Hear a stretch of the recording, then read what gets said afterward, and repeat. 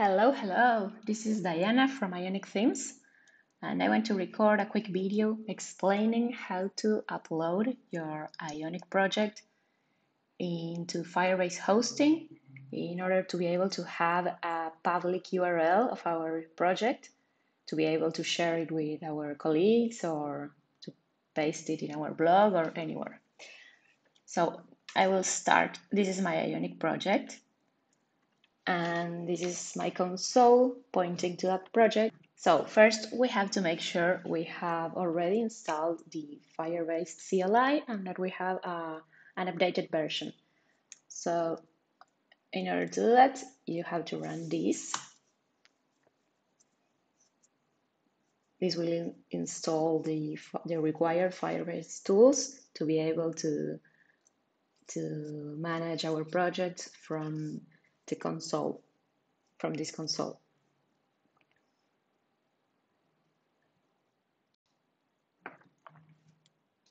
Well, it's done now. So now we can run Firebase init in order to initialize um, a Firebase project in our Ionic application.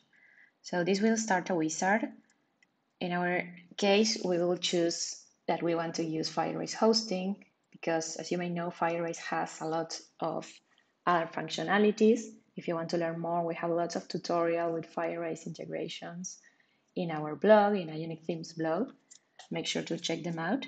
So we will select hosting. Oh, sorry. It was with the spacebar. This one.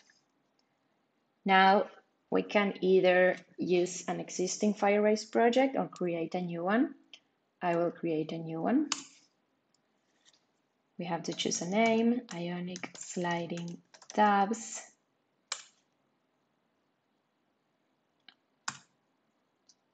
Because I didn't mention, but the project I'm uploading to Firebase, it's a demo of how to create a, sliding tabs with Ionic.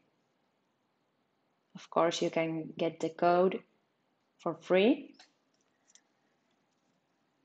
so now we have to specify where our where will be the um, the assets that Firebase will upload.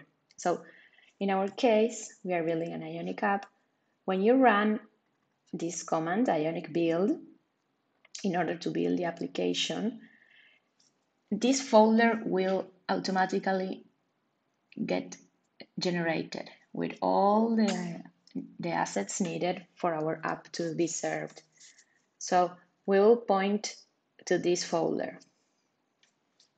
We will type www, configure as a single page app, yes please. Set up automatic builds, no. So now it asks if we want to uh, overwrite the index HTML file, which is inside our W folder. That is, sorry, um, where is it? Here, sorry.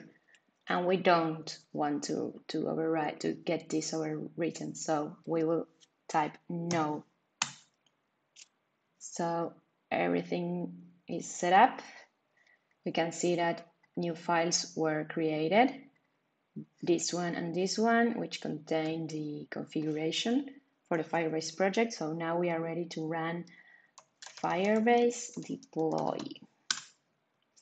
This will, if, if everything was set up correctly, this will create a new URL for us with our application. So this is this, let's see if it worked. Yay. Sorry. This is our app.